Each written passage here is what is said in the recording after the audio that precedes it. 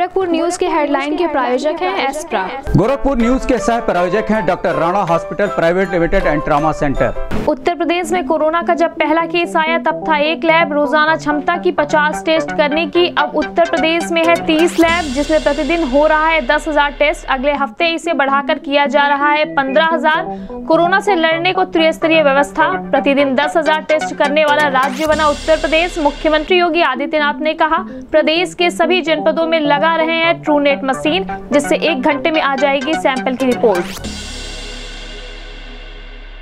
Gorakhpur news से बात करते हुए मंडलायुक्त ने कहा, मंडल में 200 के करीब है कोरोना के एक्टिव मरीज़, जबकि 90 मरीज़ ठीक होकर जा चुके हैं घर। मंडलायुक्त ने लोगों से की अपील, कहा, लगाएँ मास्क, करें सोशल डिस्टेंसिंग का पालन।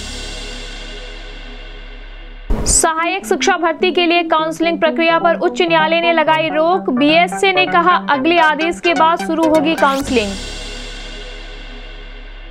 मंडलायुक्त की अध्यक्षता में संपन्न हुई बाढ़ की तैयारी एवं आपदा प्रबंधन विषयक बैठक। 15 जून तक सभी नालों के सफ़ाई के दिए निर्देश। कहा, बाढ़ बचाव कार्यों को शीर्ष प्राथमिकता के आधार पर करें पूरा।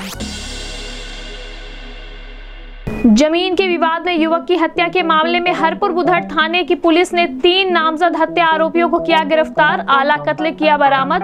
एसपी साउथ विपुल कुमार श्रीवास्तव ने किया खुलासा। पूर्वोत्तर रेलवे हॉस्पिटल में कोरोना मरीज़ के चल रहे इलाज के दौरान नौ मरीजों की रिपोर्ट नेगेटिव आने पर उन कोरोना चैंपियंस को फल और ड्राई फ्रूट देकर सीएमओ और पूर्वोत्तर रेलवे अस्पताल के प्रमुख चिकित्सा निदेशक ने किया डिस्चार्ज। कोरोना चैंपियंस ने पूर्वोत्तर रेलवे अस्पताल, स्वास्थ्य विभाग और कोरोना वॉरियर्स को दिया धन्यवाद। गोरखपुर में मिले तीन नए कोरोना मरीज़। अब 116 हुई पॉजिटिव मरीजों की संख्या, उनतीस हुए डिस्चार्ज एक्टिव केसों की संख्या हुई इक्यासी। सीएमओ डॉक्टर श्रीकांत तिवारी ने दी जानकारी। डीएम और एसएसपी ने किया बड़हलगंज के चैनपुर, बेलसड़ी, आनंदगढ़ महुआ पार सहसो डाड, हॉटस्पॉट्स का निरीक्षण। सभी के स्वास्थ्य जाँच के दिए निर्देश। और एसडीएम सदर गौरव सिंह सोगरवाल द्वारा सदर तहसील के कोरोना हॉटस्पॉटों का किया गया निरीक्षण। टू स्टेप डिलीवरी के विषय में किया गया निर्देशित। सील हुए एरिया में लोगों को कोई असुविधा न हो, इसके लिए दिए निर्देश।